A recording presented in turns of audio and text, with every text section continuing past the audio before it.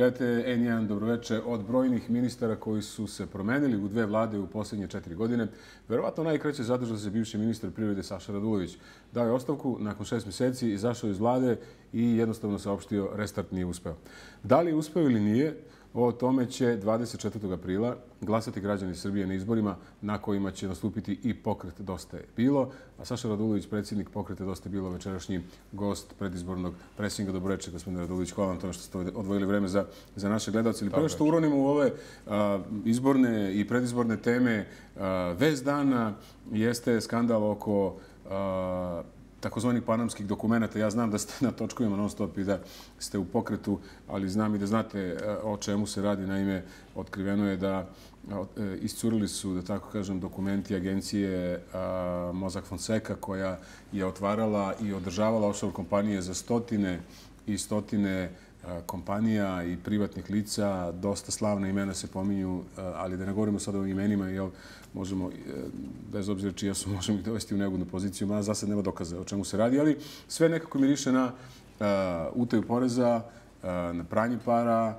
naravno, opet kažem, sve su, svako je nevin dok se suprotno ne dokaže, ali moram vas da pitam, pošto ste se i vi bavili ovakvim, ne kažem vi lično, nego bavili ste se, proučavali ste finansijski inženjering, mm. je, je ovo zaista može da bude tako velika afera, imajući u vidu da se pominju čak i neki premijeri, predsjednici država? Pa to je ogroman problem u svetskim razmerama. Naravno, u Srbiji je takođe ogroman problem, pošto se većina pljačkaške privatizacije isprovela preko uh, koristiće neke offshore firme i one služe uglavnom za ovo što ste rekli, a to je pranje para i za utaju poreza.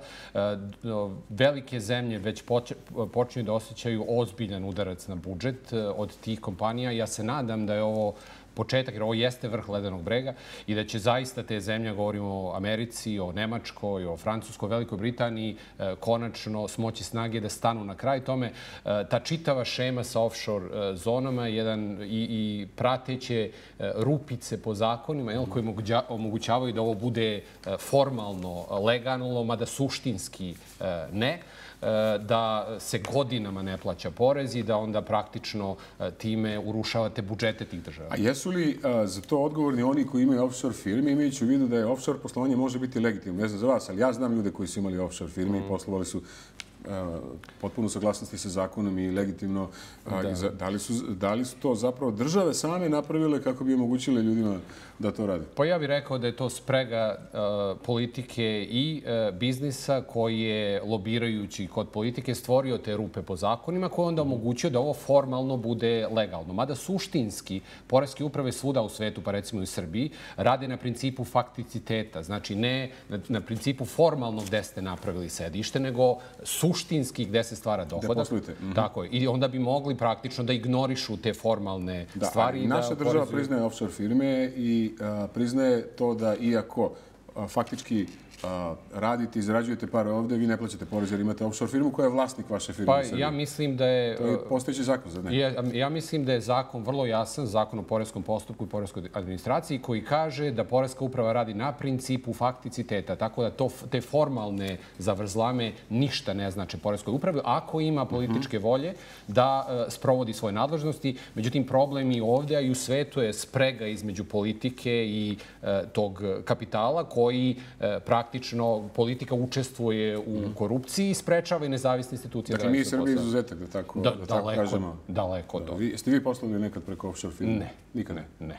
Ali sam Neko radio... za koga ste radili? Ne ali sam radio za policiju i tužilaštvo i ovaj, e, radio na tome da se istraže ti e, slučajevi. To je jedna jako teška, teš, teška borba sa tim, zato što te male zemlje koje su uvek na nekim egzotičkim ostrivima, jeli se stvaraju sisteme tako da ne možete da dođete do pravog vlasnika i onda se koriste razne metode da, da, dođete, da, da, da otkrijete sve to. I naravno na kraju sve to zavisi najviše od volje tužilaštva i volje policije da sprovedu te postupke i ako se politika umeša kao što se obično dešava, ti postupci se zaustave i onda kažu eto nismo mogli da dođemo do mhm. podataka. Dobro, politika se uh, duboko umešala u naše živote uh, ovih uh, dana i ovih nedelja. 24. su, su izbori. E, vi ćete se takmičiti na tim izborima, tako kažem. Koliko sam čuo, još niste predali, dosta je bilo, još nije predali izbornu listu. Mm, Tako je. Mi smo priku- prikupili 13.000 potpisa pre nekih sedam dana, e, čak i ovaj dan Što više. još niste predali listu? Zato što... Niste je napravili? e, Pa pripremamo, odnosno sproveli smo jedan javni konkurs za kandidate, za poslanike, za odbornike i taj proces završavamo. Birate preko konkursa Preko potencijalne kon- poslanike. Tako je. Znači, napravili smo kriterijume po kojim vrednujemo ljude, imamo čitav set jeli, različitih kriterijuma i pondere koji to mere i onda lokalni odbori vrednuju kandidate koji su se prijavili, prave se lokalne liste, to se sve stapa na Republici i onda praktično Republika dobija i tražimo najbolje kandidate. Ideja je da dobijemo najbolje. Jel? A jel, možete nam kažete neko ime, ima li neko koga građani znaju? Ove, neko, E, Kod ko nas su uglavnom ljudi koji pre nisu bili u politici, koji nisu široko poznati javnosti, ali su svi poznati u svojim stručnim krugovima. Imaćete priliku to da vidite. Biografije ćemo objaviti. Mislimo da imamo izuzetno e, jaku listu, se radi o kredibilnim ljudima, dosta mladih ljudi, 30 do do 45 godina. Naravno ima i starijih, ima i nešto mlađih. E, I biografije će biti poznate. Mi smo jako ponosni na to i uglavnom ljudi nemaju nikakvo prethodno političko iskustvo. Znači još i otvoren konkurs da se neko prijavi za poslanika ko- a, za listu, da. dosta je bilo. E, Konkurs Da. je zatvoren. A zatvoren je, da. Zatvoren, međutim, završavamo rangiranje, jer hoćemo zaista da lokalni odbori e, ocene kandidate, a ne da se iz centrale ocenjuje. I interesantno, mada mnogi ljudi ne veruju, ja ne pravim e, listu za izbore, odnosno Jer ne imate svih predsednik i kaže- 250 kandidata ćete imati Imamo- za celu Srbiju. U celoj Srbiji nam se Na republičkim prijavilo e, preko 1500 kandidata. Mi ćemo to svesti na manji broj. Da li će biti svih 250 ili ne, još uvek e, ne znam, ali... Mhm. Vojvodina? ovaj, Vojvodina takođe, da. Isto. Da. Dobro, gospodine Isti proces, znači, na svim nivoima. u redu. Ajde da, da sad nekoliko reči samo, dosta je neobično ovo i pretpostavljam za, zanimljivo za, za naše gledalci, da, malo o vašoj saradnji sa, sa drugima. Je li, e, pošto je očigledno da dosta je bilo izlazi e, potpuno usamljen na, na ovim izborima, Samostalno, ne kažem da ste siroče, da vam nešto neko treba, ali a, da li je to zaista deo političke tra- strategije pokreta ili kako neki analitičari kažu i to vide deo, recimo, vašeg političkog egocentrizma, da, to tako, da vam tako posle pitanje nećete se ljutiti. D- Daleko od toga. E, isto pitanje možete da postavite svim ostalim članovima glavnog odbora i članstvu koje je jednoglasno u tome da na izbore izlazimo samostalno, znači ovo ne potiče samo od mene, nego od cele organizacije. E, ljudi koji su glasali za nas na prethodnim izborima 2014. godine, njih 2,1%, 75.000 glasova, e, ti ljudi znaju zašto su dali glas i mi to nećemo izneveriti. Ovu strategiju da samostalno izlazimo na izbore smo tada postavili, to je bio februar 2014. i to nismo napustili do danas. Mislimo da su dve godine dovoljne, da se jedna nova politička snaga ovaj, napravi u Srbiji i da se proverimo e, na izborima, da vidimo šta glasači misle o tome. Pa ako e, jeli, glasači ne daju poverenje ovome što radimo, onda možda treba da vidimo da radimo nešto drugo. A, ne tako davno u ovoj emisiji, sedeći u toj stolici koju ste vi sada, Borko Stefanović, predsjednik pokreta Levice, rekao je da je pokret dosta je bilo i vi lično ste odbili saradnju sa njim. Da, da, da. Pa nije, nije pitanje saradnje, mi sarađujemo sa svima ovaj, i sa demokratskom strankom. sa- zajednički koaliciju- izlazak na izbore, koaliciju i Koaliciju tako smo odbili, to nije jedina, bilo je dosta ponuda za koalicije i o, mi smo rekli... Ko vam je nudio koalicije? Pa ne bih da, to je više pitanje za... Ali ispada da je dosta bilo dobro udavača, tako kažem, Pa i- politička, čim je toliko prosaca bilo, jel? Ako, is- po, po vašim rečima. Ispada tako, da. E, Čini nam se da e, zauzimamo centar političkog e, spektra. Svi mogu sa nama praktično i o, o, vide da imamo dosta podrške, imamo dosta glasača. Ovaj put sigurno ulazimo u Skupštinu. E, Prema tome, ovo je ovaj, za, za sve te stranke... Tako ne uđete u Skupštinu. Ja mislim da se to neće desiti, ali čućete, ovaj, bit će neke stvari koje ćemo, obećanja koje ćemo dati biračima. Ovaj put sigurno Obećanja pre izbora ili posle izbora? pre izbora, naravno. Dobro, e, e, ono što je u vezi sa vama zanimljivo a, jeste da još niste ni na ove izbori izašli, već ste najavili sledeće, koji bi po vašoj proceni trebalo se desiti sledeće godine, 2017. zajedno sa, zajedno sa predsjedničkim izborima, a, jer se, kako ste izjavili ili napisali na svom blogu, sad ne mogu da tačno se setim, ili u komentaru, nekom svom autorskom, jer se SNS raspada. A, jel vi stvarno verujete da se SNS raspada i da ljudi veruju da se ta partija raspada i da ćemo gledati izborne kutije i sledeće godine? Mi, to je naša politička procena i to je, birači su čuli jasno šta smo kazali i po tome će nas i meriti, jeli, da li racionalno procenjujemo političku situaciju ili ne. Podsjetit ću vas u junu mesecu 2015. godine sam takođe najavio da će biti izbori republički zajedno sa lokalnim ja mislim baš na vašoj televiziji.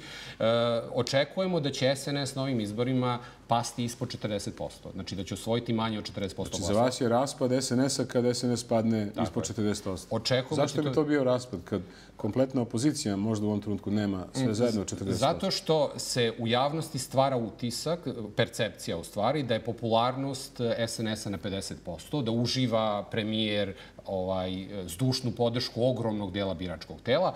Pa kad se vidi da to nije tačno i da su ta istraživanja javnog mjenja u stvari e, nameštena i kad se vidi da je procenat recimo negde oko 35% ili 38%, to će biti početak e, kraja. Jer ta kola se više ne zaustavlja, ona idu nizbrdo. 38% je procenat koji posle Miloševića niko nije imao, koliko se ja sećam, na svim izborima, svih 11, ako se ne Jako je bitna dinamika. Znači, kad, kad krenete sa 50 i pređete na 38%, vas ništa više dalje e, e, ne zaustavlja. I onako brzo kako je e, rasla popularnost premijera i to na lažima i obmanama građana, ja mislim da će još brže... E, se sećate uh, s koliko procenata je SNS i uh, SPS u formirali vladu u kojoj ste vi bili ministar?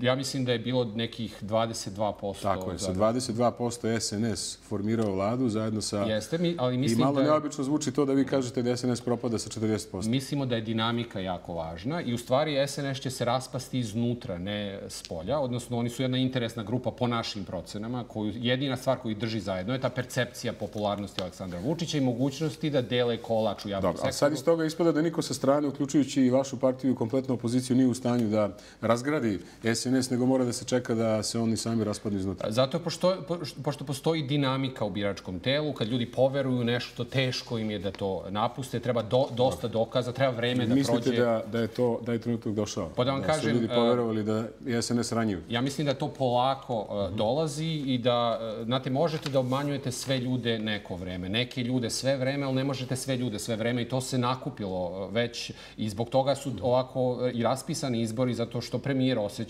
da ta popularnost spada i pokušava u, u tom padu da to zaustavi i dograbi što e, vlast naredne četiri godine. Dosta kritički govorite o ove vladi, gospodine Raduloviću, ali kritički govorite i o ovom opozicijonom polju i nekako se stiče utisak da a, ako, a, ako vam neće biti e, prvi protivnik e, vaše političke da kažem, ne partneri, nego kolege, jel, iz opozicijalnog bloka, da su podjednako veliki protivni kao i Aleksandar Vučić.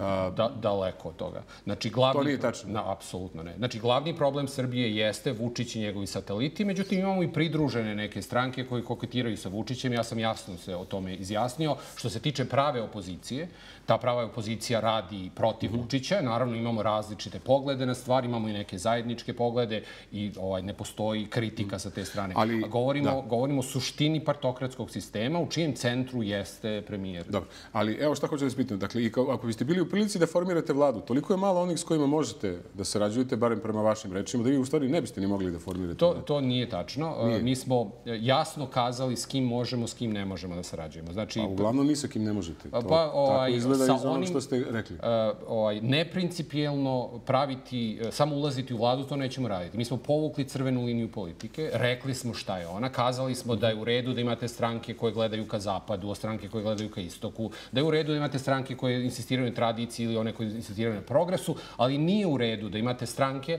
koje partijski zapošljavaju, pretvaraju se u biroje za zapošljavanje, učestvuju u korupciji, uzmeju partijske rekete. Znate neko koja to do sad nije radila? Uh, ne znamo, međutim, naša ideja nije da svi nestanu sa političke scene scene, nego da se stvori nova politička kultura u kojoj to više neće niko raditi. I onda možemo da diskutujemo ovim drugim stvarima i da dajemo ponudu građanima, da građani biraju e, ko je bolje da vodi, vodi državu. Dobro. E, šta je, gospodine Raduloviću, prema što pređemo na e, program Dosta je bilo, koji je sigurno najzanimljiviji deo ovog razgovora, moram ovako da spitam, to ću pitati drugi, naravno, u ovom studiju. Šta je obeležilo ovu vladu? Po, po vašoj proceni? Koje su to ključne stvari koje su obeležile ovu vladu? Pa potpuno urušavanje institucija sistema, e, potpuna kontrola medija i jedna e, bezočna obmana građana Srbije. Ja mislim da je to e, jedna reč koja, koja sve to zajedno mm -hmm. ovaj, označava je obmana. A, svaki potez, čini mi se, ako se pogledaju saopštenja, dosta je bilo i vaša lična, vidite kao svaki potez ove vlade, u stvari svaki segment rada ove vlade vidite kao katastrofalan. Od subvencija preko funkcionisanja pravosuđa do, do zakona o zemljištu. Postoji nešto što, što biste, zašto biste mogli da kažete, e, nije baš tako crno, nije katastrofalno.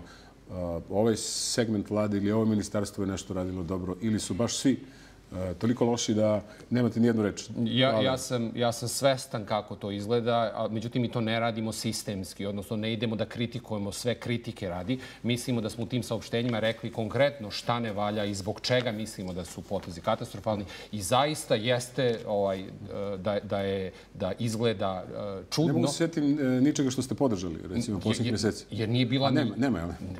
Ako vi znate, ja bih voleo da čujem i ispravio bi se. Da, da, pa dobro, evo, mnogi govore o jednom dobrom evropskom kursu ove vlade, o rešavanju međunarodnih, međunarodnih odnosa, eurointegracijama. Pa, dobro, vi se smete. Ja vam kažem da mnogi vrlo pozitivno misle i brane tu politiku. Pa ja ne znam šta je konkretno tu. Znači, e, pod zastavom ulaska u Evropsku uniju već godinama se vrši pljačka Srbije, urušavanje svih institucija sistema, počinjavanje medija. Ja ovo govorim svim stranim partnerima s kojim razgovaramo i mislim da su zarad e, kratkoročnih interesa e, žrtvovali proklamovane vrednosti i principe. Tako da ja tu ne vidim nikakav boljitak. Financije u Srbiji bolje stoje nego što su stali kad ste vi bili u vladi. Znate šta, gurnuti deficit sa nivoa Republike na opštine, javna preduzeća u džepove građana nije boljitak, jer vam to nastavlja ovaj trend pada. Pa, Vi morate da stvorite uslove... Ja samo pitam da li je Srbija u, u boljem finansijskom stanju, mislim na fiskalnu politiku u ovom trenutku, nego kad ste vi bili ministar? E, mnogo gorem, jer e, umeđu vremenu smo nazidali još jedno 4 milijarde javnog duga, tako da situacija je to za 4 milijarde evra gora. Mislim, Evo, ja, ja treći razumem... put da vas pitam. E, ne govorimo o uslovima, o načinu na koji je postignuta finansijska stabilnost, ovako kako se predstavlja. Opet vas pitam, vrlo jednostavno, da li su financije u ovom trenutku u boljem stanju nego kad ste vi bili, odgovor, nezavisno od toga kako je do toga? Odgovor je nedvosmisleno ne, ne, zato što javni dug porastao i još više je nagrizen ceo javni sektor, da ne govorimo svim preduzećima koje su praktično otišlo u stečaj i rasturanju i ovaj, svih javnih preduzeća. Znači, prilike koje smo imali 2014. godine, na početku 2014. godine, mi, mi tako dobru situaciju više nećemo imati. Iz godine u godinu, odnosno iz, iz meseca u mesec, situacija koja se Srbija nalazi je e, sve gora. I e, mi smo sada mnogo zaduženi. Podsjetiću, Aleksandar Vučić kada je došao na vlast, javni dug je bio 15,5 milijardi evra, to je sredina 2012. godine. Danas je oko 25. To je preko 9 milijardi evra više javnog duga nego kad je preuzeo vlast. Tadić, podsjetiću vas, kad je preuzeo vlast 2008. godine, javni dug je bio 7,5 milijardi. Kad je napustio 2012. bio je 15,5, to je 8 milijardi. na srce, dug od 25 milijardi nije tako zastrašujući. Zemlje okruženje duguju po 30, 40, pa i 50 i tako da. Jasno, ali... Mislim, ne branim to, nego prosto, ajte da budemo realni. Ja mislim realno da je zastrašujući to iz više razloga, jer ovaj ponder kojim gledam samo dug u odnosu na GDP je samo jedan od, od merila. Imate i druga merila, a to je recimo da vidim koliko imam slobodnih poreskih prihoda u odnosu na dug, jer ovaj, u ovaj javni dug upada i dug prema penzionerima, na primjer, koji, odnosno penzioni fond je prazan, imamo obaveze prema ljudima koji su penziji, te obaveze su negde, ako uradite kapitalizaciju uh, ovih uh, godišnjih davanja za penzije, oko 60 milijardi evra. Kad to sve saberemo, dug je zaista zastrašujući. Ono što uh, to ne znači da smo mi u bez, bezizlaznom stanju. Međutim, moramo da prekinemo ovo što radimo sada. I o, smanjenje plata, smanjenje penzija ne radi ništa sistemski na, uređ, na uređenju društva i države. Mi ne, ne udaramo na ključne delove koji u stvari generišu deficit i generišu propadanje. Jesu li ministri, pa i vaš uh, naslednik na poziciji ministra prirode i ministar financija neznalice po vašoj proceni? Ili se radi o nečemu drugom? Pa ja mislim da u delom da... Jer to kako vi govorite izgleda kao da niko ništa ne zna u vladi. Delom da, međutim ja mislim da je mnogo veći deo toga, čak i kad ljudi nešto znaju. Problem je u centru vlade, a to je premijer. Znači ja sam i podneo ostavku pardon, zbog premijera, ne zbog uh, drugih ministara. Ljudi čak i kad imaju dobre namere. Ali rekla bi se da nemate nikakav respekt prema njima jer uh, ste poništili sve rezultate, ako ih eventualno bilo, u svim poljima pa ja, ja ih, svih ministarstva. Ja ih ne vidim, ja pozivam bilo koga da ih, da ih iznese, pa da, recimo, otvoreno razgovaramo o tome. Ja bih rado razgovarao i sa ministrom privrede i sa ministrom financija i da pogledamo te brojeve i da pričamo konkretno o njima. Znači, e, kad ne radite, kad, kad idete kontra struke, kad govorite stvari koje zaista nemaju veze sa životom, kad vidite da kao papagaji ponavljaju nešto što, što premijer traži od njih, pa ja nemam drugu reč, ovaj, mogu da mislim ili da su potpuno nesposobni da razumeju šta rade, ili da su uh, dirigovani. Ja mislim da je kombinacija te dve stvari. Hvala vam, vratit ćemo se u studio za minut dva.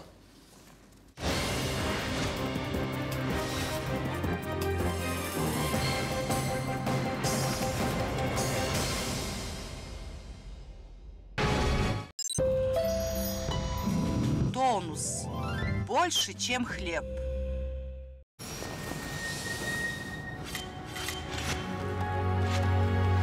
Amstel. Ponosni sponsor UEFA Ligi Evrope. Pitali su nas da li možemo naučno dokazati strast koju osjećate dok vozite novi Renault Megane. Zbog toga smo sproveli eksperiment koristeći se najsavremenijom tehnologijom. Naučnici su pažljivo proučavali sve podatke da bi otkrili izvor strasti i zaključak je bio Ako želite da osjetite strast, vozite ga. Novi Renault Megane. Probudi svoju strast.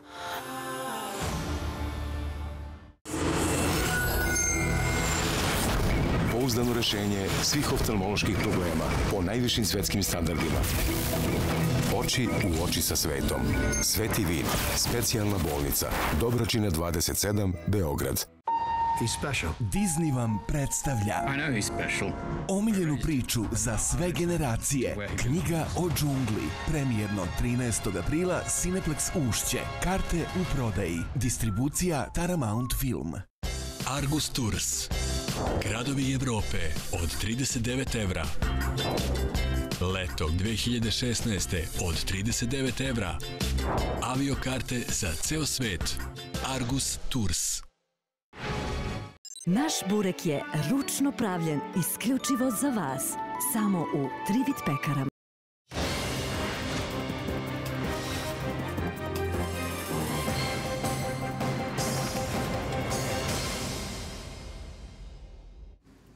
Saša Radulović, predsjednik pokreta Dosta je bilo gost još jednog predizbornog presinga u nizu. Gospodine Raduloviću, da se fokusiramo malo na, na program Dosta je bilo, to je čini mi se ono što je veoma važno i a, ono što bi naši gledalci sigurno volili da, da čuju nekako se u moru ovih kritika ponekad izgubi ono što su vaše alternative i, i, i vaše ideje.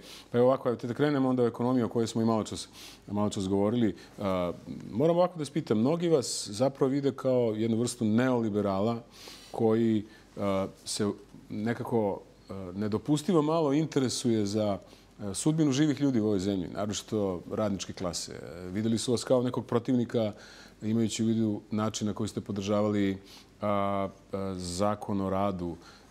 Ima komentara, ja sam siguran da ste ih videli jer ste vrlo često na društvenim mrežama i na web sajtovima, da vi zapravo radnike doživljavate kao nekakav trošak u, u nekom liberalnom sistemu proizvodnje. Šta biste rekli na, na te kritike Pa mislim da je dovoljno da se pročita naš plan u 20 tačaka, da se pročita program. Ne, ne možemo sad čitamo. Naravno, ja ali da... ovaj, je dovoljno to da se pročita, da se vidi da to jednostavno ne odgovara istini.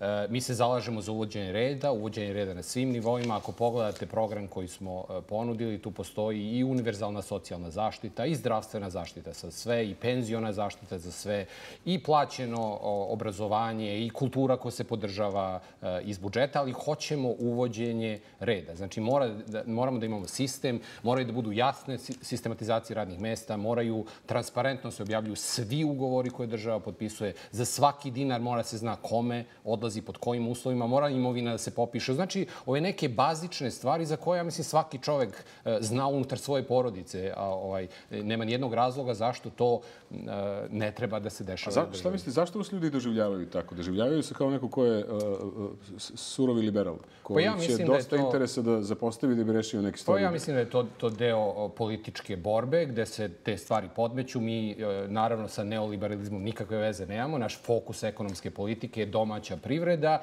i porodične firme. Znači, u Srbiji imamo milioni šesto hiljada porodičnih firmi, gde su i porodična gazdinstva, poljoprivredna i preduzetnici, male deo firme, koji zapošljavaju mali broj ljudi, gde praktično prehranjuju svoje porodice. Oni, e, ovaj, njih preko 500 hiljada zapošljava milioni šesto hiljada ljudi. Država zapošljava 700 hiljada, proširen javni sektor, dok recimo tajkuni i svi strani investitori zajedno oko 300 hiljada. Znači, o, centar uh, ekonomske aktivnosti u Srbiji su porodične firme. One trpe pod ogromnim teretom poreza i doprinosa koji su preko 60% i oni generišu ogromnu sivu ekonomiju. Zatim, pod velikim birokratskim opterećenjem koje mora biti smanjeno. Da ne govorimo o tome da recimo u 21. veku mi imamo situaciju da naše firme ne mogu da koriste PayPal, ne mogu da prodaju svoje proizvode recimo preko eBay-a zbog kat, restriktivnog zakona o deviznom poslovanju. Znači, mnogo takvih sitnih zakona koji uništavaju potencijal te male e, privrede. Ajmo redom. Evo sad ste pomenuli sivu ekonomiju koja se događa zbog toga što su porezi i doprinosi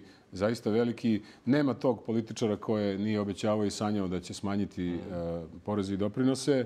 Uh, mm, evo vi sad tražite smanjenje poreza i doprinosa. Kako, gospodine Raduloviću, kad odlično znate da bi to ruiniralo budžetske prihode. Pa ajde da vidimo, i... ajde da vidimo šta znamo, šta ne znamo i šta u stvari ruinira budžetske prihode. Srbiju ubija partokratija, odnosno političke stranke čekajte, koje razvijaju Ja vas pitam kako biste ajde, taj novac za koji biste mogu, smanjili poreze i doprinose... Ako mogu da samo nabaviti. dođem do, do centra problema. Znači, da. centar problema jeste partokratija koja se finansira na tri načina. Prvi je partijsko zapošljavanje, a to su partijski kadrovi postavljeni na izmišljena administrativna radna mesta sa kupljenim diplomama sa izmišljenih univerziteta. Njih ima oko 15% u javnom sektoru. To je godišnji trošak od milijardu evra. Drugo, na subvencije se godišnje baca, oko milijardu evra. Od toga u poljoprivredi je samo 230 miliona. Ja biste sutra zatvorili železaru i rekli društvo, doviđenja, za, za, za, žurka je gotova, za sve, razilazak, za sve, nema više ni dinara. Za sve, 5000 ljudi. Za sve firme u Srbiji, da. ovo sam radio isto kao i ministar, procenjuje se da li ta firma može da opstane ili ne, tako što se uradi lična karta, popiše imovina, popišu obaveze, uradi finansijsko restrukturiranje, nakon toga se uradi analiza tržišta, poslovni plan i investicioni plan. Da vam kažem, svaka kompanija može da se stavi na noge. Svaka. Pitanje je kolika je, tako je. Pitanje je kolika je investicija potrebna. Pa kad to izračunate, koliko novca treba da uložite i koliko je to rizično i kad to uradite za sve kompanije, onda možete racionalno da procenite da li nešto da, da. vredi ili ne vredi. Drugim, e, drugim rečima, vi u stvari e, biste morali da rešite niz drugih problema kako biste stvorili uslov I da niz, smanjite poreze i doprinose, i niz tih drugi, tih para nema. I niz tih drugih problema se može, odnosno srediti, sistem se može dovesti u red za godinu dana i to je taj plan od 20 tačaka o kome smo rekli. Ovih 20 tačaka se može sprovesti za godinu dana. Podsjetit ću partijsko zapošljavanje milijardu evra, subvencije milijardu evra, gubici u velikim javnim preduzećima, recimo u 2014. godini, Srbija Gas, EPS, Železnice, Železara, Petrohemija i JAT, Air Srbija su napravili gubitak od milijardu evra. Ovo su pa tri evo EPS je poslalo sa dobitkom ove godine. Vidjet ćemo kad se objave finansijski rezultati 2015. Pa, godine. Da, saopštili, kad ih vidimo detaljno, saopštila je Air Srbija, na primjer, 2014. godine su napravili dobit od 2,8 miliona evra, pa smo onda videli kad su stigli dobro, finansijski izveštaj... Dobro, nije, nije imao donacije kao da, Air Srbija. Da vam kažem, ne znam, vidjet ćemo kad objave... Ne verujete na reč. Ne verujem nikome na, na reč. znači, pogledat ćemo kako, kako stvari stoje. Ono što, što hoću da kažem je, ovo je, ovo je gde je problem deficita, ovo je razlog zašto imamo ogromne poreze i doprinose, ovo je razlog zašto nam stalno raste javni dug. Znači, treba napad, napasti uzrok Kad to uradite, onda vam se otvara prostor i za univerzalnu socijalnu zaštitu, i za smanjenje poreza i doprinosa, i za overu zdravstvenih knjižica za sve građane. A to je upravo ono što želimo. A, prema što nastavim dalje s ovim temama, dajte jednu, jednu digresiju. Nema tog a, a, ko pred izbore nije obećavao dosta od ovih stvari koje ste mm. i vi pomenuli i naravno na kraju su uvek odustajali iz, socijalnog, iz razloga socijalnog mira i tako da je uvek su nailazili. Šta je garancija da ćete vi a, da biste vi upravo ovako postupili ako biste sutra bili Da ponovo kažem, ministar u vladi? Ja sam god da već bio na vlasti, imao čup od 300 miliona evra. Gde, ono gde se zabaguju, o tome smo pričali pre emisije, drugi e, političari je, e, kad dođu na čup, onda im je mio taj čup. Pa onda uzimaju iz čupa, za, što za sebe, što za svoju partijsku organizaciju. Znači, ja sam bio tamo, imao čup od 300 miliona evra. Nisam uzeo dinar, nikom nisam dao da ukrade dinar i onda sam podneo ostavku. Pa ja bi morao da budem mnogo glup čovek. Da budem na čupu, da podnesem ostavku, da krenem od nule da gradim političku organizaciju, da ne pravim koalicije ni sa kim, da hoću da pobedim na izborima da bi se vratio na čup i uzimao pare. Tako da mislim da je ovo deo te garancije, a ovaj, svakako ću uh, biti tu i kad ostvarimo ovo, a mislim da ćemo ostvariti ovo što smo uh, naumili, da odgovori na sva ova pitanja, pošto znate tačno šta smo uh, obećali. Da, da, znamo, da. Pa ćemo moći o tome i da razgovaramo. Malo čas ste pomenuli subvencije. Vi ste ogorđeni protivnik sub- subvencionisanja novih radnih mesta. Zbog čega ste toliko ogorčeni protivnik ovakvog stimulansa Ja sam siguran da će gledaoci, pogotovo privrednici i mali privrednici, ovo jako lako razumeti. Znači, domaći proizvođač bojlera zapošljava ljude, plaća poreze, te poreze uzima partokratija, daje njegovom konkurentu da pored njega otvori fabriku bojlera i njega ugasi. Evo poslednji A primjer. zašto ne podržavate davanje subvencije i domaćim privrednicima? Zašto ste protiv subvencija? Pa zato što subvencije krive ekonomski sistem. I u stvari najbolja subvencija pod navodnicima je smanjenje poreskog opterećenja za sve, pa napravite takav ambijent koji pogoduje zapošljavanja, a to je smanjenje Ali u to stvari su poreza na dugoročni- proizvod. dugoročni Ovo su vrlo potezi. Kratkoročni potezi. Je- Mi napravi smo plan u 20 tačaka za jednu godinu. Evo poslednji primjer. U Obrenovcu je premijer iskopao rupu i ovaj, za, za jednu stranu fabriku koja je kineska fabrika koja treba da dobije 27.800 evra po radnom mestu. Pa mi smo najgora od svih banana država na svetu.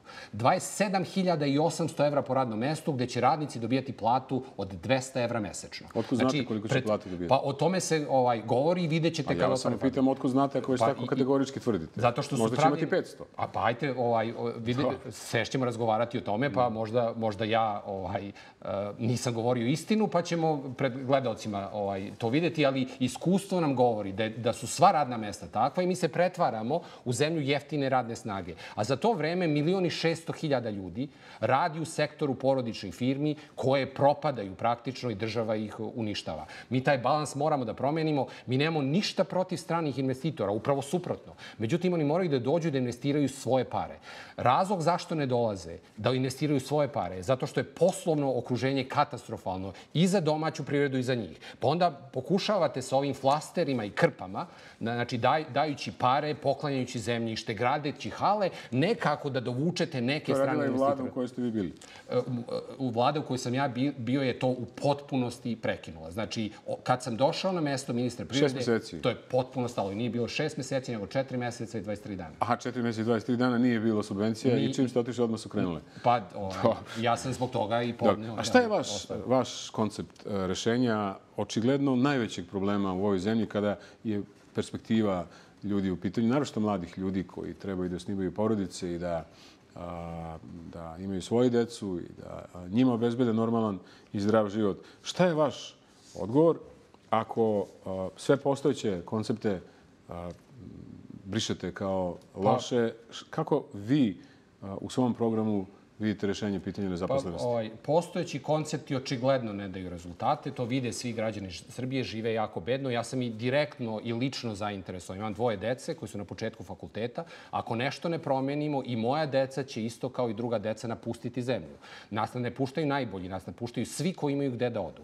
Koncept je sledeći. Prvo morate da znate ko će vam stvoriti rast. Znači, koji je to resurs, odnosno koji su to ljudi Rekli ste domaća privreda. Tako je. Milion, znači preko pola miliona porodičnih firmi koji zapošljava milion i šesto hiljada ljudi. Ono što njima treba je da država sjaše. Znači, ne da im pomaže i subvencioniše, nego da im stvori poslovno okruženje. To znači razumni porezi i doprinosi, ra, razumno poresko opterećenje, dobro birokratsko e, okruženje, znači da imamo propise tamo gde su potrebni, a, a ovaj, tamo gde nisu, da te ukinemo, da izvršimo giljotinu propisa, jel, da inspekcije ne maltretiraju građane i privredu, nego Poreska uprava da postane, da ima savjetodavnu ulogu. jel, kad vam dođe prvi put pa vi nešto ne radite kako treba da vam daju savete, pa da vi to ispravite, a ne da samo dolaze da uzimaju neki reket. Trebaju nam razumni krediti u dinarima, u, u domaćim bankama i treba nam pravna sigurnost da ljudi mogu da naplate svoja potraživanja. Kako biste napravili razumne kredite u domaćim bankama? I to, to Koji su to već... instrumente, gospodine Radulović? Garantni... Inače, inače, e, vi tvrdite da se država previše meša.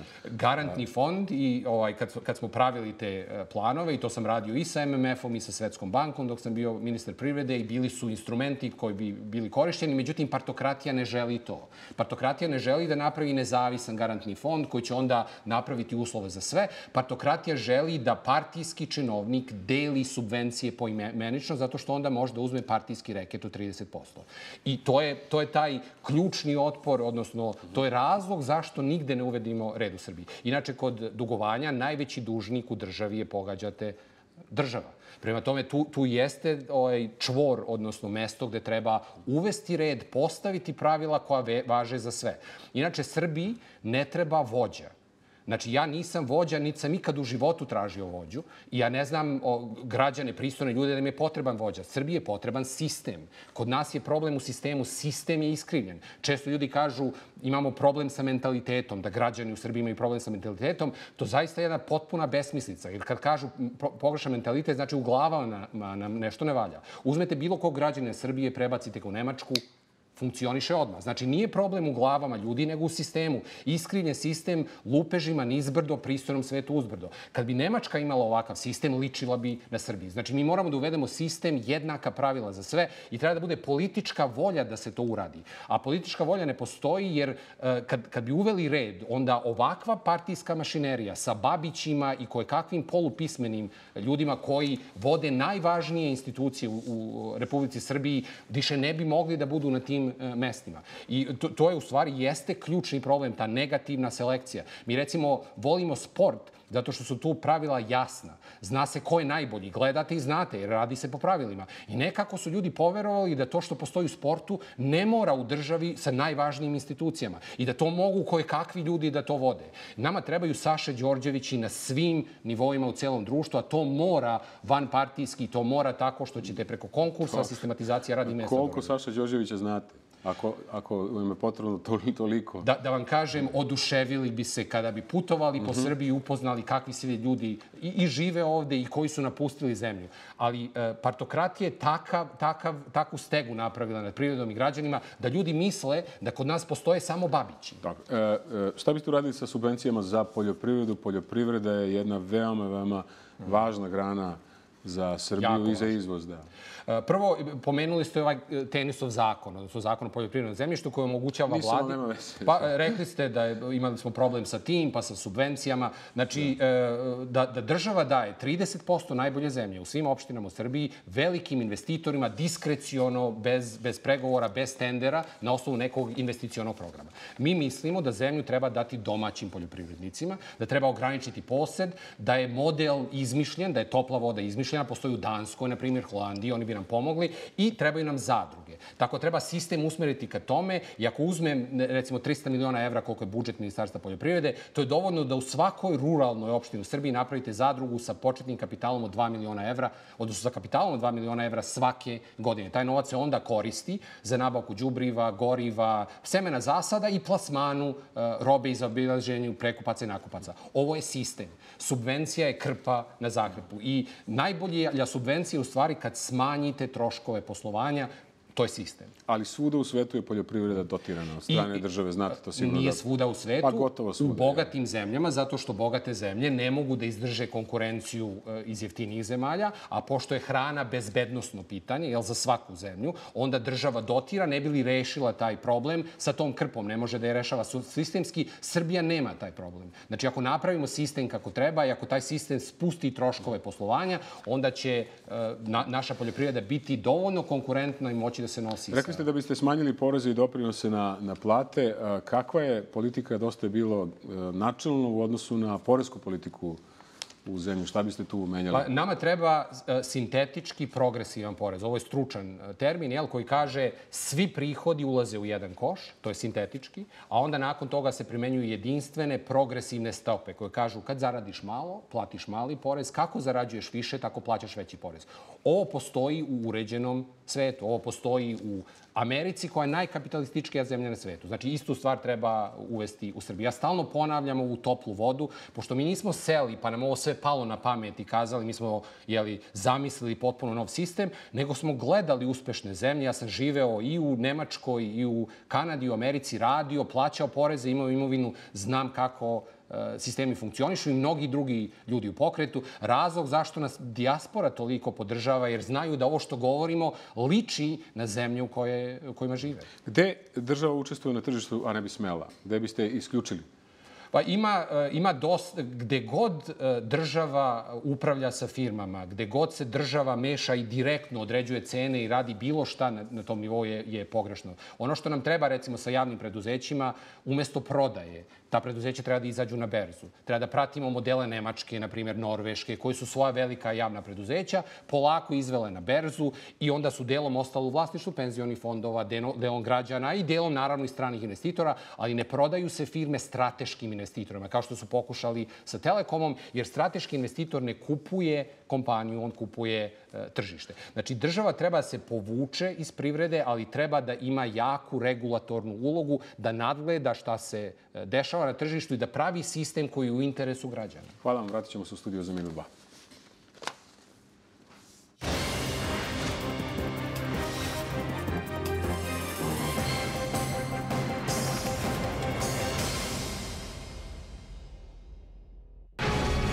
Российская академия наук клинически исследовала качество тонуса.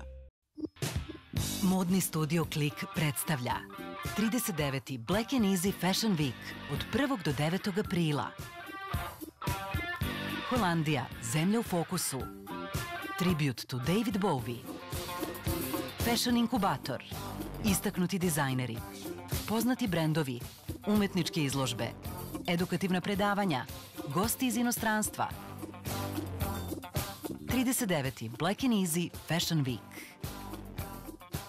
A leader in international education in Serbia, Chartwell International School is accredited by Cambridge and the Ministry of Education of the Republic of Serbia. Chartwell offers education for students from 2 to 18 years of age. Foundation, primary, and secondary schools are located in three spacious premises in the beautiful diplomatic residential area of Belgrade. Chartwell is a friendly, multicultural environment with over 35 different nationalities and 15 years of experience. It places emphasis on an individual approach in small class sizes, hardworking children, having fun, trying to reach their own personal best achievements, guided by caring, enthusiastic, motivated staff.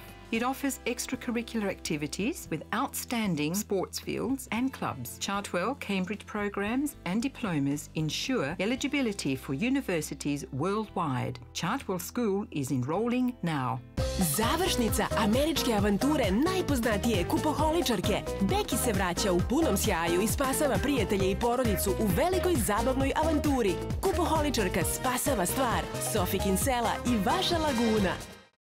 Who says a woman has to be married? You. All our lives. The wedding is on! Take, yeah, a, take photo. a photo! Pull my neck. Pull!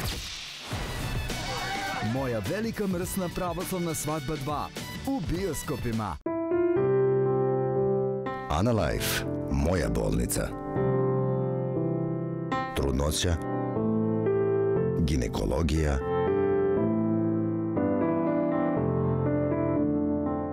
interna medicina. Od naših pregleda teško da može nešto da se sakrije. Opšta bolnica Analife u mirnom kraju Zemuna. Moje mantije, ukus koji nećete zaboraviti samo u Trivit pekarama.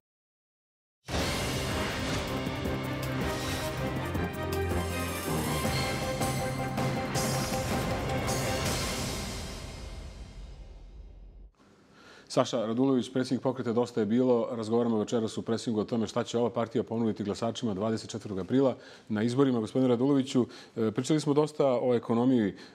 Kakva je politička agenda pokreta Dosta je bilo, barem u odnosu na ove dve teme koje se najfrekventnije javljaju u javnom diskursu, a to su evropske integracije i atlantske integracije, odnosno pitanje NATO pakta i, i, i Srbije? Mm. Pa odgovor je isti kao i za ekonomiju. Znači, mi se okrećemo ka sobstvenim snagama. Mislim da je to jedini način da se uredi zemlja. Znači, Srbija je u centru svega i treba da pogledamo kako da postavimo stvari da budu što više u našem interesu. Treba da naučimo nešto i u spoljnoj politici i u ekonomiji. Tamo važe interesi, ne postoje prijatelji. Kod nas se stalno govori o nekim prijateljstvima. Takođe govorimo o tome da, ne, da su potrebni sponzori, jel? pa trebaju neki spasioci. Kao u ekonomiji, stalno neke strane investitore prizivamo koji će da spasu železaru, pa će da spasu jad, pa i na kraju vidimo da nas to jako mnogo e, košta, tako i u spoljnoj politici. Znači, treba jasno da razumemo da velike sile imaju interese, da ti interesi neće nestati, da nema nikakvog razloga da se ljutimo na te interese, nego da treba da pronađemo neko mesto za nas, kao kao što su to pronašli i druge zemlje. Gde je to mesto između Rusije i Brisela? Pa ja bih rekao ovako. Između NATO-a i nekih drugih saveza, neutralnosti i tako dalje. Cilj Srbije je da napravi uređenu zemlju. Mi hoćemo da ličimo na neke zemlje. Recimo, kad pričamo o ovim evropskim integracijama, ja sam i rekao i u ovoj emisiji, po tom zastavom pristupanja Evropskoj uniji, po ovom procesu u kome smo, dešava se potpuna razgradnja društva. Znači, meni je neverovatno da neko može da kaže da Srbija dobro napreduje na tom putu, a da s druge strane vidite da imate potpuno podređene medije, da je urušeno pravosuđe, da ne rade nezavisne institucije sistema, pa kad razgovaram sa ambasadorima o tome, oni kažu ovako, ali pročitajte izveštaj Evropske komisije, jel? u njemu piše sve ove stvari koje ja govorim, zaista piše, mada, s druge, ali s druge strane, građani o tome ništa ne znaju. Ja, ja im odgovorim, kad vidite Sebastijana Kurca ili Angelu Merkel ili princa Charlesa koji dođu ovde i kažu mi sa vladom Srbije delimo iste vrednosti, a ispod toga imate sve ove stvari koje se dešavaju i sami izveštaj Evropske komisije. Šta je to? I onda je... Pa šta je to? Recite pa ja mislim da je to... Prosvetite nas. Pa, ovaj, ja sam o čemu njima, se radi? Ja sam njima rekao... Ova vlada dobio jasnu podršku iz Brisela, iz mnogih drugih, iz Međunarodnog monetarnog fonda i iz I onda se, onda se vraćamo na ovu, na ovu ključnu priču, pri, pitanje interesa. Znači, postoje neki kratkoračni interesi koji se zadovoljavaju, znači ozbiljni ljudi to jasno a, razumeju i onda zarad tih kratkoročnih mm -hmm. interesa še, se žrtvuju te proklamovane vrednosti Koji su to kratkoročni interesi? Pa sad, oni se očigledno, oni se očigledno odnose na stabilnost e, na ovom prostoru i e, to da se prate neka uputstva u tome e,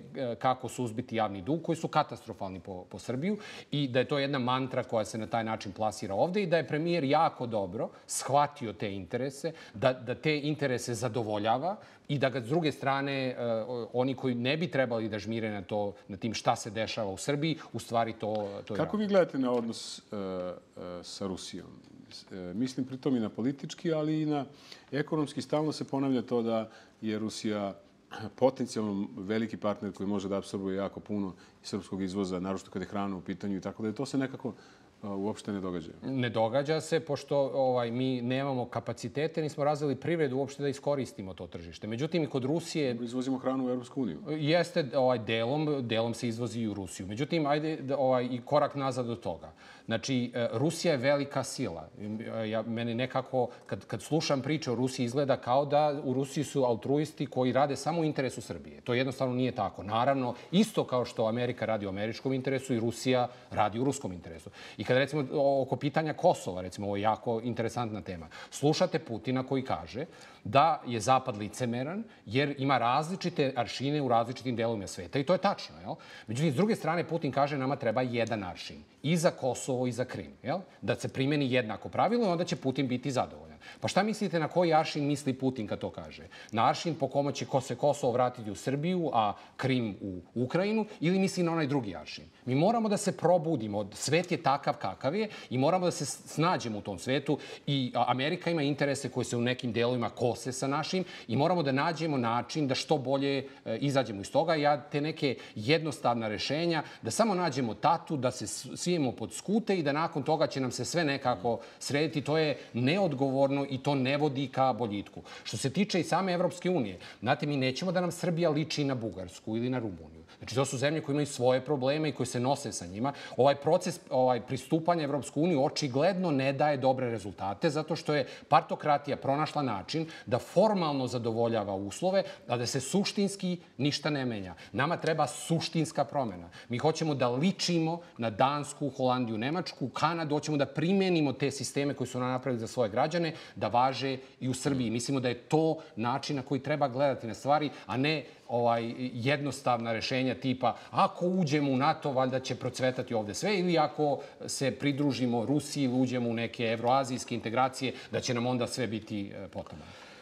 Sva je prilike, gospodine Raduloviću, da se Haški tribunal umešao u e, predizbornu utakmicu u Srbiji. E, dosta referenci ima sa svih strana kada je u pitanju presuda Haškog tribunala predsjedniku Srpske radikalne stranke Vojislavu Šešelju. Kakav je, kakav je vaša prva impresija bila? Na koji način mislite da sad ovo možda može poremetiti neke, neke projektovane pozicije i zapremine političke o kojima ste malo čas govorili, da nisu možda baš tako, takve kao što izgledaju? To, to je sasvim moguće, postoje razne spekulacije i mnoge stvari bude sumnju. Međutim, činjenica što se Haškog tribunala tiče, treba, Haški tribunal je trebao da dovede do pomirenja u regionu, trebao je da utvrdi istinu, da prepozna sve žrtve, to se nije desilo. E, dosta politizovanih stvari se desilo i praktično izgubio je kredibilitet. Meni je žao zbog toga, zato što jeste činjenica da same zemlje, pogotovo odmah posle rata, nisu bile u stanju stanju da unutar sobstvenih pravosuđa iznesu tu pravdu za žrtve koje su svi narodi podelili, neki više, neki manje, zavisno u kom delu e, bivše Jugoslavije, ali Haški sud, nažalost, nije to opravdao i recimo kod same presude Šešelju, znači držati nekog u pritvoru toliko dugo sa oslobađajućom presudom, pa to je kršenje svih e, ovaj, prava e, ljudi. Mi smo o tome i govorili. Međutim, s druge strane, kad govorimo o tome da, da dođe zahtev za izručenje, Ako je država Srbija preuzela neku obavezu i potpisala ugovor, onda on, ona mora da poštuje to što je potpisala. Inače nismo kredibilan partner. Onda nas to košta na mnogim drugim stvarima. Znači, kad preuzmemo neku obavezu, koja god vlada da je preuzela, ili imate način da je raskinete, ili morate da je poštujete, inače niste kredibilan partner. Kako a, biti kredibilan u scenariju i u suđenju koje je jako daleko i možda je sve drugo, samo nije bilo kredibilno mm -hmm. suđenje Vojislavu Šešelju, kako onda biti toliko kredibilan? Pa, o, to je takođe... Na pozivate? Pa, o, to je pitanje i za ne samo ovu vladu i na prethodne vlade. Zašto se nije e, ovaj, znači, direktno uključila i, gle, i vodila računa o tome da, da dođe do pravde, a ne u delovima se trudila da prikrije dokaze, u delovima potpuno, recimo, ignorisala žrtve koje smo koji su ovaj, Srbi podneli na, na ovom prostoru, jer su se verovatno unutar struktura uh, i bezbednosti plašili za sobstvene sudbine, pa su hteli da se ne talasa i da se ovo uh, zatvori. Gospodine Raduloviću, deo izborne trke će se odvijati i u Vojvodini i u Novom Sadu. Vi ste i tamo u toj političkoj utakmici. Ajde ovako da vas pitam, pošto veoma kritički govorite o republičkoj vladi, kakvu poziciju u vašim kritičkim observacijama zauzima vojvođanska vlada? A, je li ima bolju ocenu od, od ove republičke vlade? Pa, ja Ili imate i njima šta da zamerite? Pa, ja, jako je teško kazati bolju. Mogu da kažem manje lošu.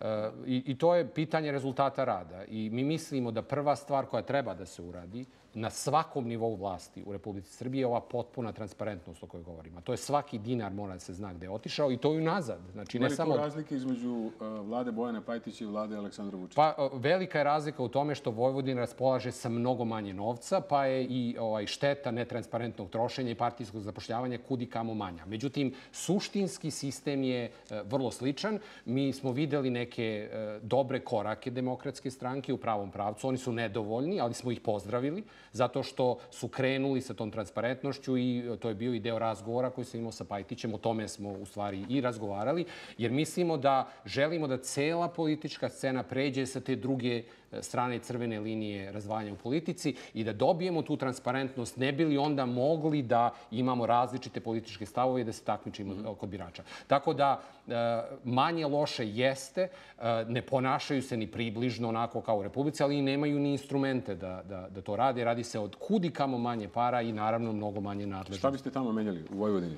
Pa Šta ista stvar kao i u... osnovna poruka? Pa, znači, ista stvar kao i u Republici. Mora se uvede red, ne samo u Vojvodini, nego i u svim opštinama u Srbiji, znači na svim nivoima. Takođe, u Srbiji je potrebna decentralizacija. Decentralizacija koja će dići nadležnosti lokala u celoj Srbiji. Mi sad imamo situaciju da barem na papiru, mada građani Vojvodine se s tim ne slažu, odnosno oni vide na papiru, ali ne vide suštinski da imaju neku lokalnu autonomiju. Nama treba suštinska autonomija u celoj Srbiji koja je na višem nivou nego što je današnja u Vojvodini na papiru. A to ide kroz spuštanje izvornih porezkih prihoda na lokal, davanje nadležnosti lokalu i naravno Republika onda ima ulogu nekoga ko nadgleda, ko, ko stavlja regulativu i koji upravlja se sistemom. Međutim, u Srbiji je potrebna jedna sudska vlast, znači ne ovaj, više slona jedna zakonodavna i potpuno decentralizovana izvršna vlast, gde se na onom nivou na kom ima najviše smisla i na kojima je ekonomski najisplativije, treba i da se obavlja vlast. Kako uh, dosta bilo stoji u Vojvodini i u Novom Sadu, po vašim informacijama? Pa, mi mislimo da najbolje stojimo u Beogradu, gde smo preko 10%, u Vojvodini mislimo da smo oko 8%, u ostatku Srbije između 3 i 4, tu nam medijski mrak pravi najveći problem. Uh, jako je teško doći do sela u ostatku Srbije. U proseku mislimo da smo preko 6% 10% i dalje raste. A šta očekujete e, inače ka, kao rasplet politički u, u Novom Sadu i u Vojvodini?